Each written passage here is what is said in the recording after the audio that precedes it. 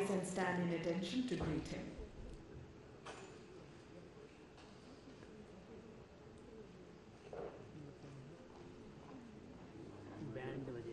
Ladies and gentlemen, the Honorable President of India.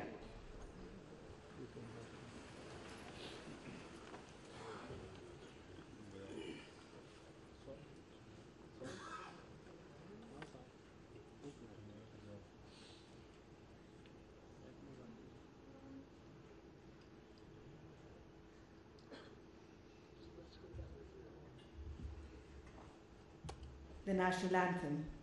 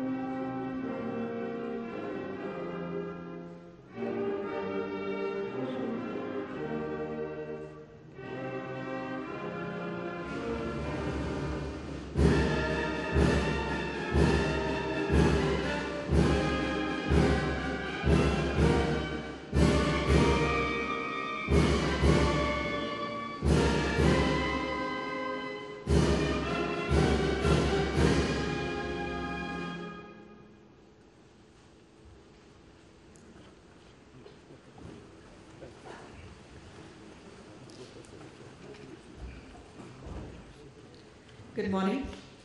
Honorable President of India, Sri Ram Nath Kovind, Dr. Jitendra Singh, Minister of State in Prime Minister's Office and Minister of State for Personnel, Public Grievances and Pensions, Sri R.K. Mathur, Chief Information Commissioner, Sri Yashovardhan Azad, Central Information Commissioner, Professor N. Sridhar Acharyulu, Central Information Commissioner, and all the distinguished guests. Welcome to the 13th Annual Convention of Central Information Commission. May I now invite Sri Radha Krishna Chief Information Commissioner, to give the welcome address.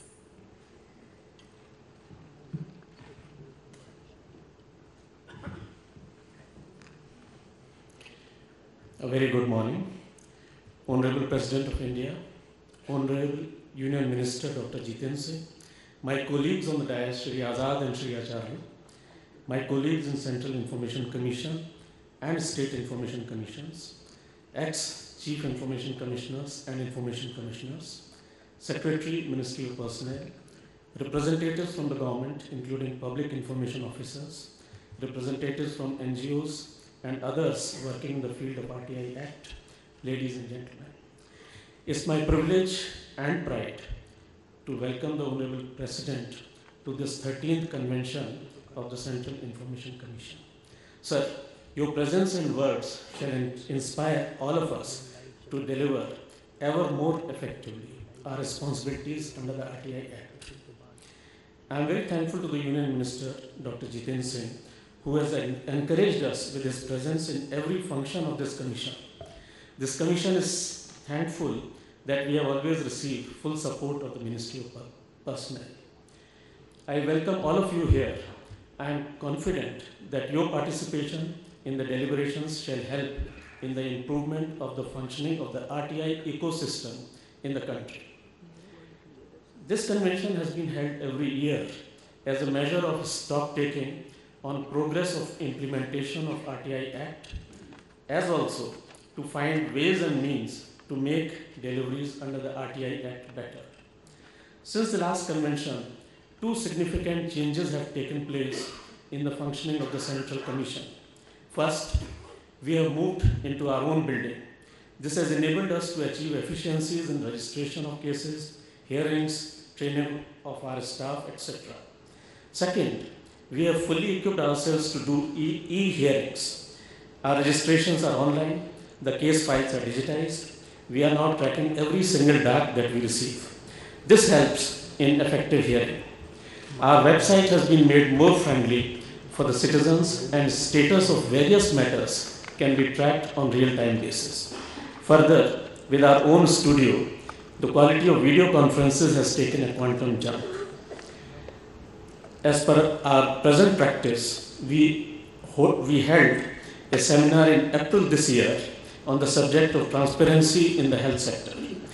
Uh, we intend to continue holding such sector based seminars every year.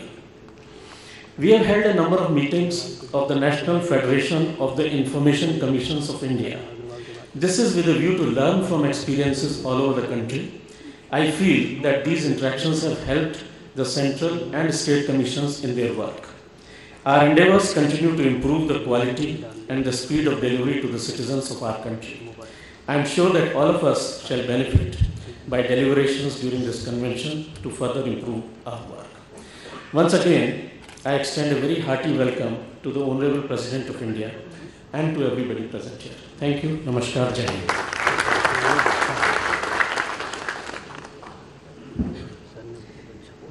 Thank you, sir, for the warm welcome address. Ladies and gentlemen, it is an honor to welcome amidst us Dr. Jitendra Singh, Minister of State in Prime Minister's Office and Minister of State for Personnel, Public Grievances and Pensions. May I now invite the Honorable Minister to deliver his address.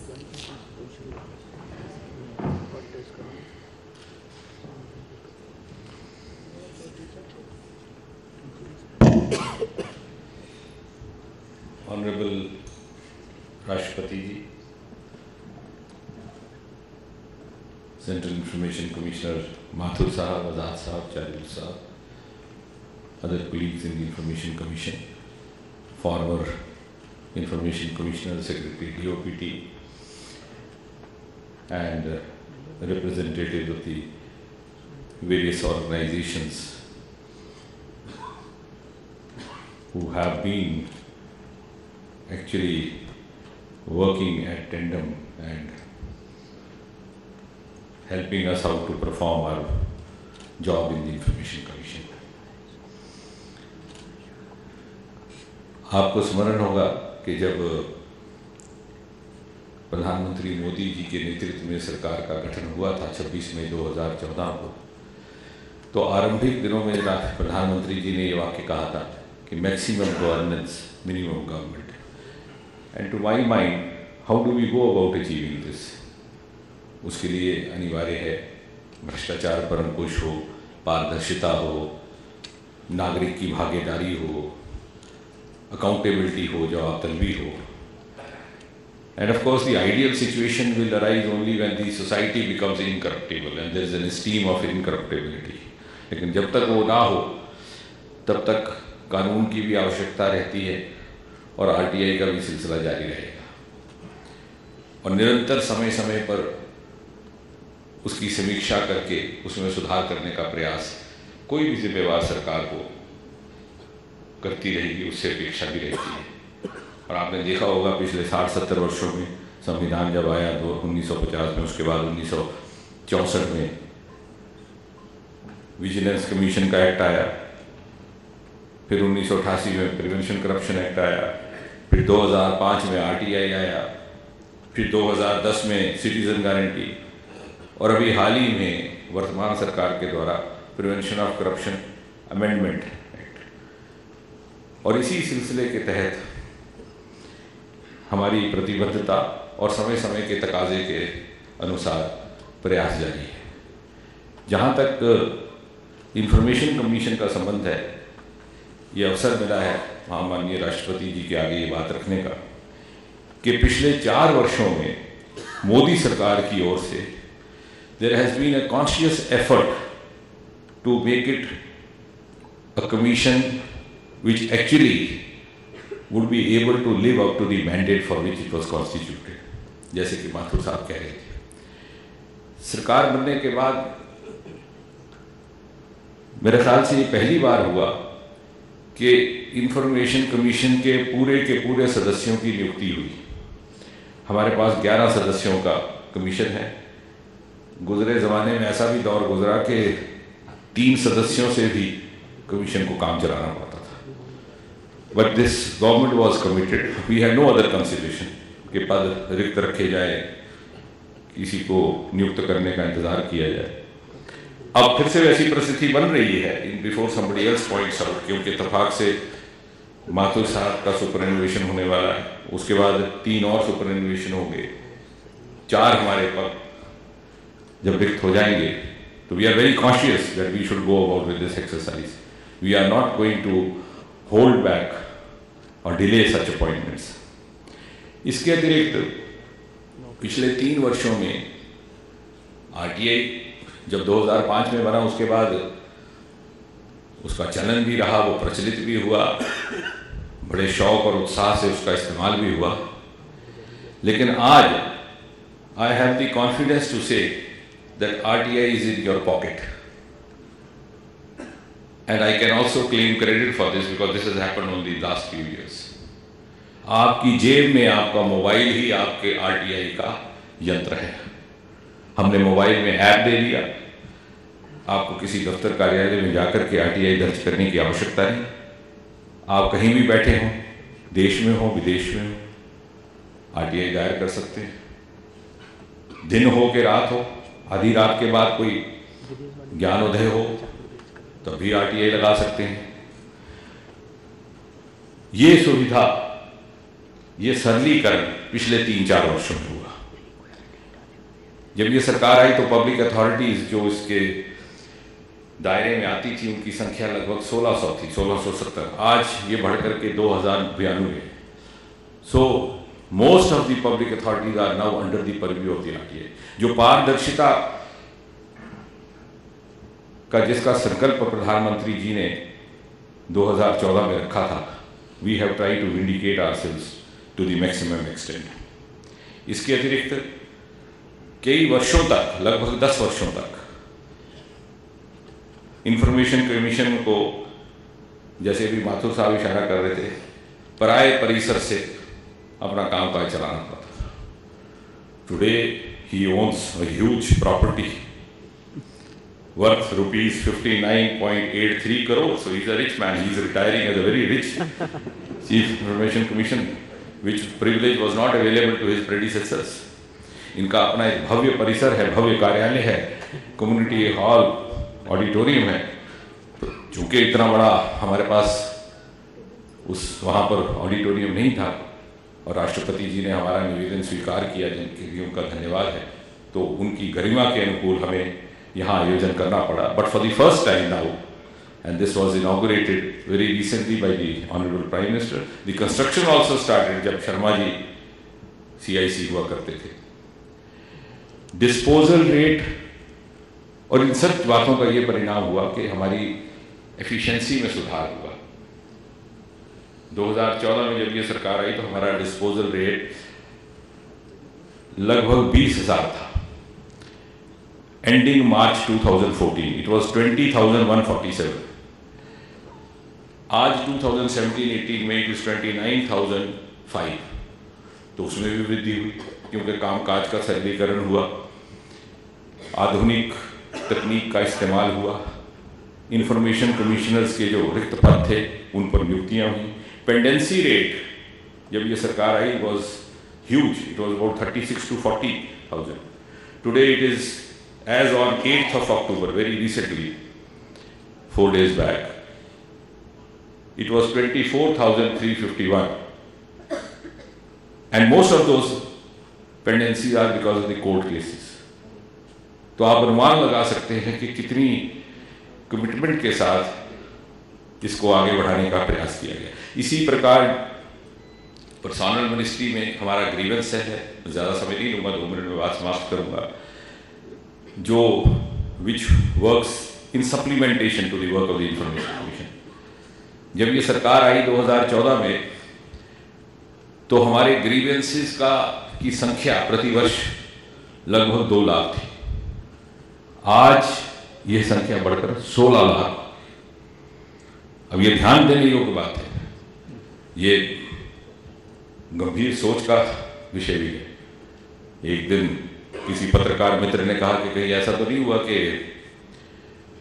Modi सरकार के खिलाफ शिकायतों की संख्या बढ़ गई? तो मैंने कहा कि इस बात का उत्तर मिर्ज़ा गालिब भाई से डेढ़ वर्ष, डेढ़ सौ वर्ष पहले दे गए, जब उन्होंने कहा था कि जब तवक्को ही उठ गई गालिब, क्यों किसी का गिला करे कोई? ग्रीवेंस वहाँ लॉन्च की जाती है आरटीआई वहाँ लॉन्च की जाती है, जहाँ अपेक्षा है तवक्को है कि उत्तर मिलेगा। because these were remaining unaddressed, unresponded and therefore people had lost interest. आज हमारा grievance disposal is more than 95%, which is monitored at every weekend, and random calls are made to the complainants to assess their level of satisfaction. And that is why people are feeling emboldened and encouraged to come forward. अंत में केवल एक निवेदन है क्योंकि ये हमारा वार्षिक सम्मेलन भी है। कि कहीं कुछ ऐसा सोचा जा सकता है क्या? जिससे avoidable R T Is could be avoided इससे अधिक तो मुझे कहने की ना मोहलत है, ना गुंजाइश। ताकि हमारी क्षमता बढ़े, हमारा डिस्पोजल बढ़े, हमारी पेंडेंसी घटे। मुझे याद है जब शर्मा जी सीआईसी बने आज शायद उपस्थित नहीं रहे इस कार्यक्रम में। तो दूसरे दिन मुझे, क्योंकि वो लखनवी अंदाज में बहुत खूबसूरत भाषा में बात करते तो बोले, पेंडेंसी बहुत है, लगभग तीस हज़ार। बहुत भार है। तो मैंने कहा, शर्मा जी, थोड़ी सी गलती लग गई। तो चौंक के देखे मेरी तरफ़। मैंने कहा, तीस हज़ार और दो। तो उनके समझ में नहीं आया। तो मैंने कहा, आपकी नियुक्ति के बाद दो आरटीआई आपकी नियुक्ति पर लग कहने का ये तात्पर्य है कि मुझे कोई सुझाव नहीं देना। आप सब हम सबसे ज़्यादा बुद्धिमान हैं, हम सबसे अधिक अनुभवी हैं। समाज के प्रतिनिधि भी यहाँ उपस्थित हैं, हमसे ज़्यादा पढ़े लिखे हैं और फिर सुझाव देने पर विवाद खड़ा हो जाता है। इसलिए सुझाव देने, वो कहते हैं कि कुछ कहने पे तूफ़ान उठा लेती है दुनिया। और पिछली बार भी कुछ ऐसा अनुभव हुआ। कोई सुझाव नहीं देंगे। एक केवल प्रार्थना है कि हम क्या ऐसा कर सकते हैं क्या? अधिकतर जानकारी आजकल वेबसाइट पर उपलब्ध है। मेरा अनुभव जहाँ तक पर्सनल मिनिस्ट्री का है एसीसी के order which is the highest order goes up to honourable prime minister इससे पहले कि उस संबंधित अधिकारी तक ऑर्डर पहुँचता है, वो वेबसाइट पर पहले उपलब्ध होता है। कई बार the officer does not wait for his copy he receive the information इतनी तत्परता से हम इसको पब्लिक डोमेन में डालते हैं। तो कहीं इस प्रकार की जानकारियों को लेकर के अगर आरटीआई अवॉइड हो जाए, बाकी तो आपकी इच्छा है, परंतु एक छोटा सा विनम्र निवेदन है। या फिर कुछ ऐसा विषय जिसको लेकर के आरटीआई तीन चार महीने पहले ही लगी हो, उसको अब उससे ज़्यादा मैं नहीं कहूँगा, लेकिन हाँ अंत में ये कहूँगा कि हम आरटीआई दायर करते हुए अपनी अंतरात्मा से ये पूछ लें कि इज़ इट कहीं ऐसा तो नहीं कि it is only RTI for the sake of RTI ताकि हम पूरे संकल्प के साथ प्रतिबद्धता के साथ आपकी अपेक्षा आपके मापदंड पर पूरा उतर सके आपकी सेवा में समर्पित रह सके। बहुत बहुत धन्यवाद।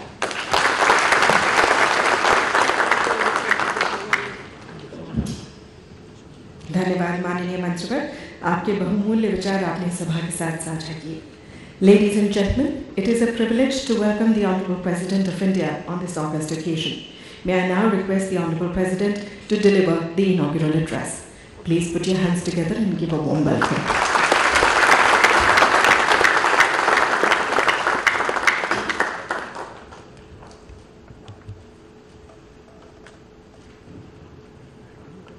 Minister of the State in the Prime Minister's office and Minister of State for Personnel, Public Grievances and Pensions, Dr. Jitendra Singh, Chief Information Commissioner Sri Radhakrishna Mathur, distinguished guests, ladies and gentlemen. I am glad to be here for the 13th convention of the Central Information Commission. I understand that uh, I understand that I am the fourth president of India to address this convention. In fact, in 2006, my distinguished predecessor, Dr. APJ Abdul Kalam, had given the inaugural address at the very first convention of the CIC. Today's date marks the anniversary of the day in 2005 when the Right to Information Act came into force. Over the years, the RTI has contributed to the deepening of our democracy and has helped add to the knowledge base of our citizens. I must recall here that uh, I was a member of parliament when the RTI law was enacted and part of the standing committee deliberations that helped give final form to this legislation. As such, this is a moment of personal satisfaction for me also. Free flow of information is the essence of democracy. And for the people of a free and free spirited country, information is power. They have a right to know how they are being governed, how public money is being spent, how public and national resources are being deployed, how public services are being delivered, and how public works and welfare programs are being carried out. In a democracy, there is no such thing as too much information. Information overload is always preferable to information deficit. Right to information builds on these principles. It creates a pedestal for transparent and participatory governance. In 1946, the first session of the United Nations General Assembly resolved that, I quote, freedom of information is a fundamental human right and the touchstone of all the freedoms to which the UN is constated. I am told, unquote, I am told that the first RTI related law was introduced in Sweden in 1766, over 250 years ago. In 1990, as the Cold War ended, only 11 countries had an RTI. In the wave of democratization that followed between 1990 and 2016, 104 more countries gave themselves RTI laws. India was part of this dramatic expansion. In India, the Central Information Commission is the custodian of RTI Act. In the past 13 years, the CIC, along the state information commissions that have been set up in every state, enforces the law and empowers citizens with the information they seek. India has appointed half a million public information officers under the Act. The estimate of requests for information, I am told, is as high as 6 million requests a year. These numbers are astounding.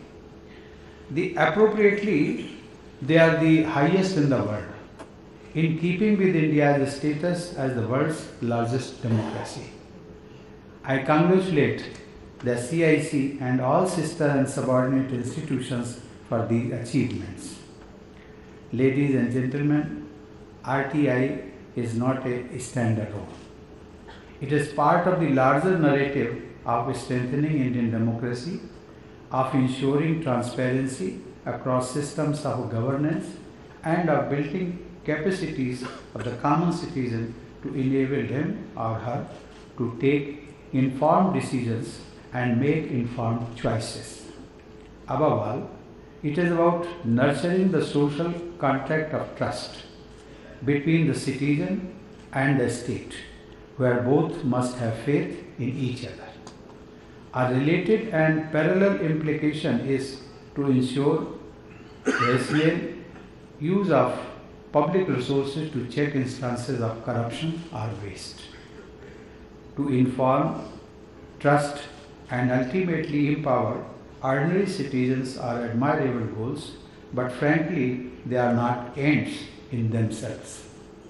It is only when we link this process to the realization of definite objectives that engage, enable, and ensure efficiency, and so serve to make life and much better for the citizen that we complete the narrative of democracy.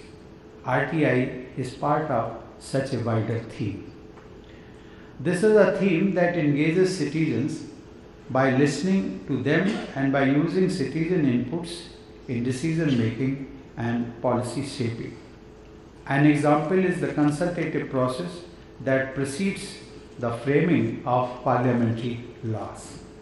Another example is the reception of real time feedback and inputs on a new mechanism such as the goods and services tax and a responsive government absorbing that feedback and making necessary changes. The institutional form of such a concept can perhaps be found in MyGov, conceived and erected as the world's largest citizen engagement platform.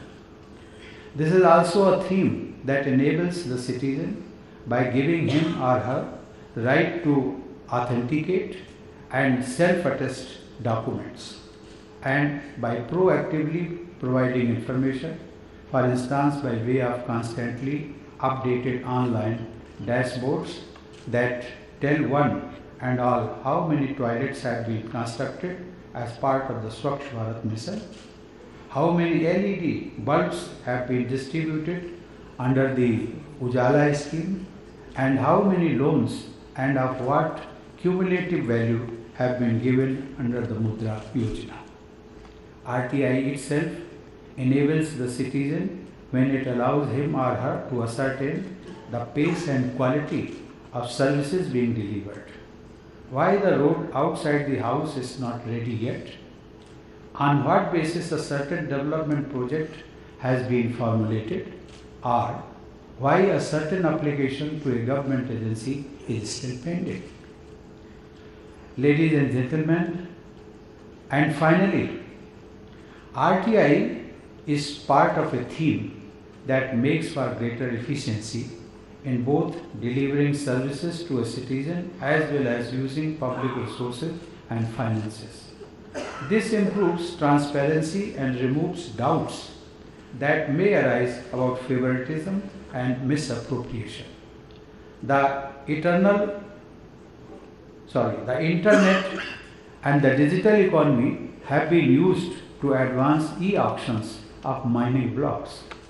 They have helped create the government e-market or GEM portal for public procurement of goods and services and the JAM Trinity, namely Jan Dhan accounts, Aadhaar based unique identities and mobile phones, has helped with direct bank transfers to beneficiaries of the schemes.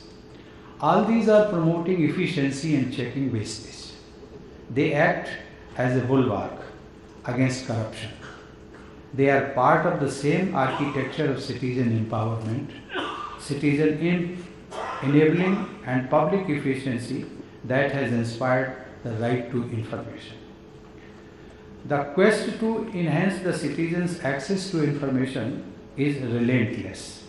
While it is a separate silo from the right to information, there is also need to look at our declassification protocols for government and archival documents and see how we can modernize these. Open government and the pursuit of legitimate public oversight are a desirable and a dynamic process. We can never do enough, we can never aim too high. In conclusion, I would like to touch upon the fine balance between the right to information and the right to privacy. I commend the CIC for upholding the RTI's basic charter that public records, with some exceptions for subjects such as national security, are open to public scrutiny. But private records of individual citizens are protected from intrusive third party curiosity. We must be cautious against fringe cases that try to use the RTI mechanism to settle personal scores, especially in an age when privacy has become a matter of such intense debate. It is crucial to maintain this balance. So far, the CIC and its supportive institutions have managed this balance extremely well. I am confident that you will continue to do so as you push ahead with the cause of the right to information. With those words, I wish you all the best for this convention as well as for your future endeavors. Thank you. Jai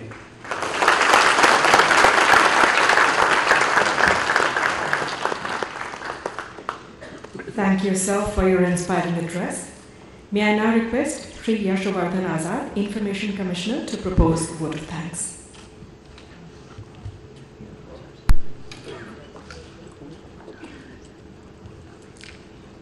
महामहिम राष्ट्रपति महोदय, इस सभागार में पूरे देश से आए सारे सूचना आयुक्त, पूर्व सूचना आयुक्त और सूचना प्रणाली से संबंधित